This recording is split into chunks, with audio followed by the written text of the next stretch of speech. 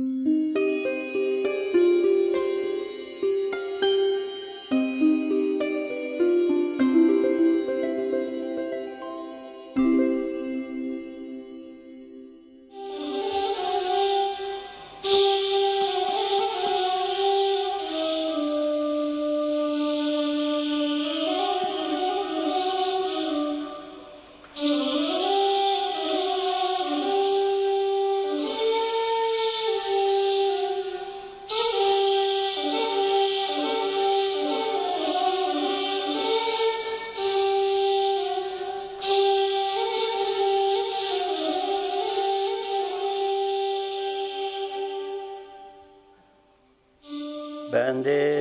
سال 1322 در شهر کرمان به دنیا آمدم چون پدرم ارتشی بود و به زودی هم در دوران کودکی منتقل شد به شیراز.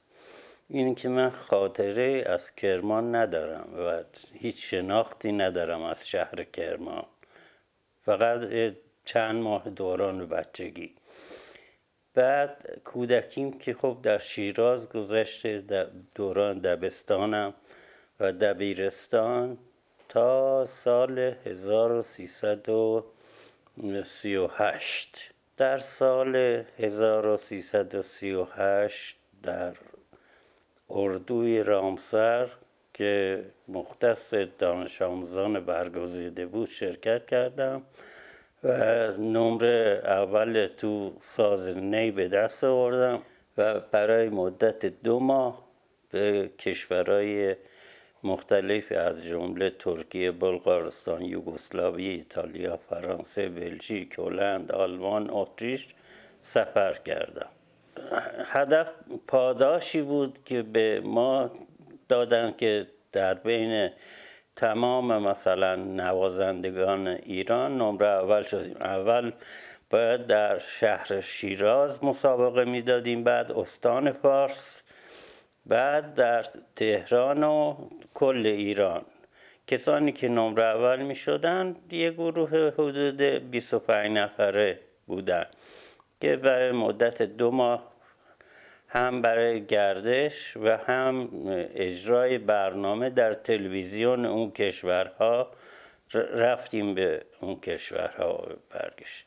قدیمی ترین خاطره اینه که شیراز من ده ساله که بودم تصادفا از رادیوی مغازه چون رادیو هم نداشتیم ما در اون سال سال 1332 تصادفا صدای نی استاد استاد بزرگ نی استاد حسن کسایی رو شنیدم و شیفته این ساز شدم.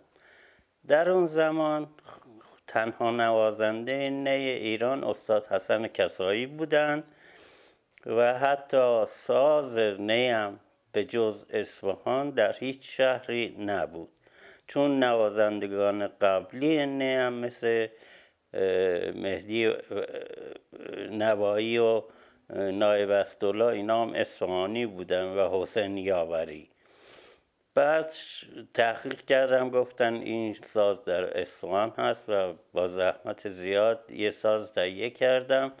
منتها مدرسی نبود کسی نبود که اصلا نی بزنه. جز کسایی که من نمی‌تونستم با ایشون تماس داشته باشم. فقط دیدم اون نوازنده فروشنده نی نی رلای دندون گذاشت و یکم صدای ناصافی هم در ورد و به من فروخت. بله رفتم اصفهان اونجا گرفتم. البته یادم نیست چند چون اون موقع خیلی پول ارزش داشت و اینا و نمی‌دونم. به هر حال رفتم شیراز و نشستم خودم کار کردم. تا اینکه یک نامه در سال 1332 به استاد کسایی نوشتم که استاد من خواهش می‌کنم راهنمایی کنید من علاقه من به این ساز هستم و ایشونم در نهایت لطف و محبت به من چیزایی که باید می‌گفتن فرمودن نوشتن برام تو نامه. و یک سال بعد من دعوت کردن اسفان که من رفتم اونجا اسفان خدمت ایشون و آقای بودن شاگرد استاد کسایی که هم شاگردشون بودن هم نی ساختن. و استاد کسایی به اون شاگرد فرمودن که دو تا نی بده به ایشون که دو تا نی به من داد. من دیگه خیلی وزن خوب بود. اینا تمرین کردم و تا سال سی و هشت که کردم تو اردو رامسر نمره اول شدم فرستادن من کشور اروپایی. عکس عمل خانوادم که خوب نبود چون پدرم مخفیانه من این کار کرده بودم. پدرم چون ارتشی بود همیشه ساعت سه چهار بعد میمد خونه. یه روز که ساعت یازده اومد من تو حیات خونه شیراز حیات دار بود اون موقع. آپارتمانی نبود.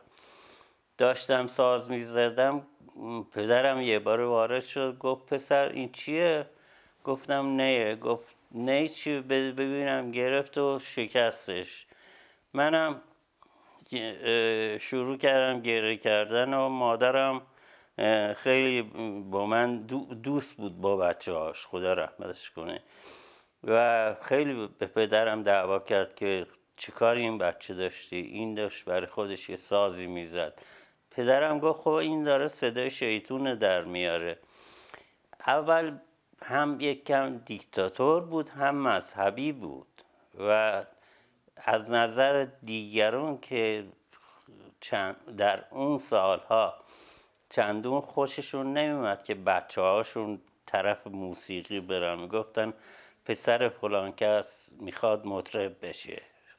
از این نظر من دیگه دیدم صدای ساز من تا موقع که پدرم تو خونه هست نباید شنیده بشه.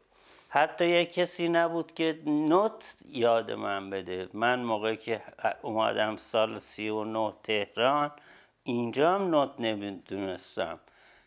بعد یک نفر مرحوم مهدی کمالیان خدا رحمتش کنه که استاد ستار بود و ستارساز ماهری بود گفت نوت بلدی؟ گفتم نه. گفت می‌خوای ببرمت پیش یه استادی که نوت یاد بگیر از خدا می‌خواستم. البته من با هنرمندای اون زمان اون دوره آشنا کرده بود. مثل مرحوم سعید هرمزی مرحوم نورعلی خان برومند مرحوم بهاری خیلی با خیلی. من برد خدمت استاد حسین دهلوی. ایشون اون موقع رئیس رهبر ارکستر سبا بودن و رئیس شورای موسیقی اداره هنر زیبا و رئیس هنرستان عالی موسیقی ملی. و به من فرمودن که من خیلی گرفتاری دارم و شاگرد خصوصی هم ندارم. ولی اگر قول بدی که کار کنی و به خاطر این مرد یعنی آقای مرحوم مهدی کمالیان بهت یاد میدم که دو ماه طول کشید من نوت یاد دادم. از تهران یه گروهی از اداره هنرهای زیبا اومدن فیلمی از شیراز تهیه می‌کردن. منم موقع دیگه تو رادیو شیراز می‌زدم با مرحوم محمودی خونساری. پیش از اون رادیو اما نداشتیم. از رادیوی مغازه ها میشنیدم و حفظ می‌کردم.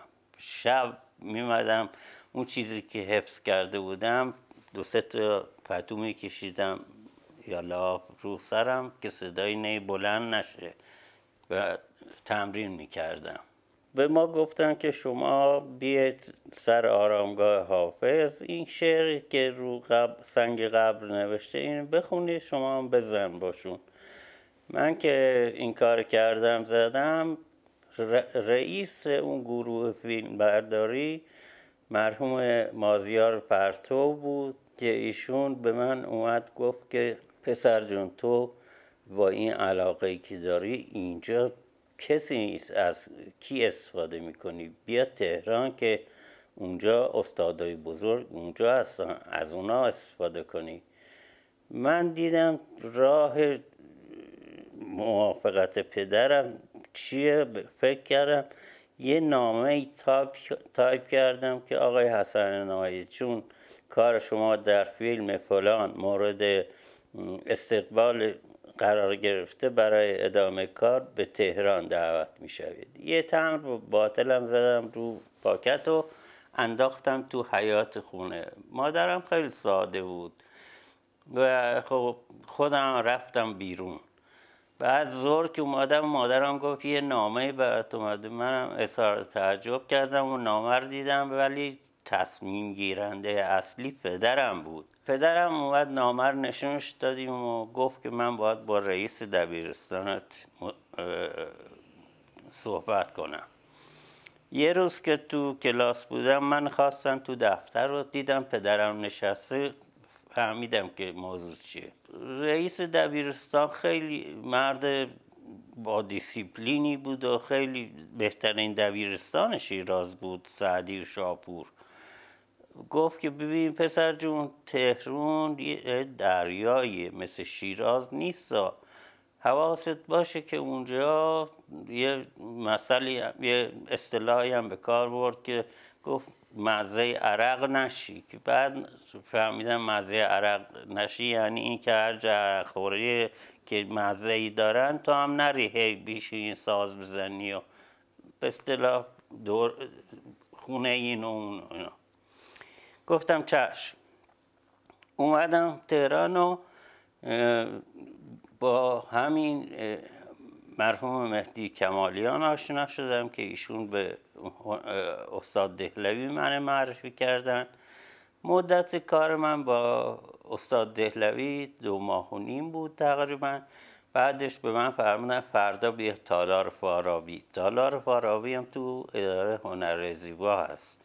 من رفتم اونجا دیدم یه ارکستر خیلی بزرگ حدود سی پنج سی نفر نشستن که این اساتید امروز بیشترشون جز اونا هستن خیلی هم فوت کردن مثل مرحوم محمد حیدری مرحوم حسن منوچهری مرحوم خانم سیمین آقارزی خیلی ها. و اساتید امروز مثل استاد هوشنگ ظریف و استاد محمد اسماعیلی و اینا هم جز این ارکست بودن و خیلی دیگه. رهبر این ارکست مرحوم نصرت الله گلپایگانی بود که از های اول هنرستان بود که خیلی با استعداد بود آهنگساز خوب و نوازنده خوبی بود. همون ناتی که داشتن می‌زدن گذاشت جلو من و من زدم اینا خیلی تعجب کردن که یه پسری از شیراز اومده نی می‌زنه اونم با نوت می‌زنه از رو نوت. بعد متاسفانه کار من با این ارکست خیلی کم بود. چون مرحوم گلپایگانی گوات داشت رفت عمل کنه فوت کرد. بعد دیگه برای نی انگشت گذاری درست کردم که یک نوازنده نی هم مثل نوازنده های دیگه نوت بذاره جلوش بزنه. نه که به اصطلاح گوشی یاد بگیره چند بار بزنن حفظ کنه. مرحوم مفتاح چون در رادیو هم یه ارکستری داشت به نام درویش من به رادیو هم دعوت کرد و معرفی کرد به مرحوم رولا خالقی. البته من باید اگه می‌خواستم برم تو ارکستر درویش باید از شورای موسیقی رادیو مجوز می‌گرفتم. یعنی باید امتحان می‌دادم. که کسانی هم که تو شورا بودن مرحوم مشیر همایون شهردار بود مرحوم رولا خالقی بود مرحوم علی تجویدی بود مرحوم حیب الله بدیعی بود مرحوم بدیزاده بود و یکی دو نفر دیگه. چون که من برای سازنه انگوش گذاری خاص درست کرده بودم و اولین بار بود که این کار کرده بودم دست مزد اون موقع جلسه هفتاد تومن بود برای همه. برای من آقای مرحوم خالقی جلسه صد تومن نوشتن که ده جلسه می‌شد در ما هزار تومن خیلی پول بود و من نمی‌دونستم که این هزار تومن چه کار کنم. این که 500 تومن میفرستادم برای پدر مادرم 500 تومن دیگرش هم با حقوقی از اداره هنرهای زیبا می‌گرفتم زندگی خیلی خوبی داشتم و اینا.